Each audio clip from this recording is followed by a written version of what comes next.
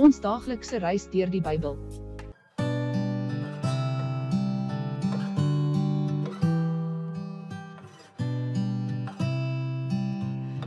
En ons dank U, onsse God, en prys U heerlike naam.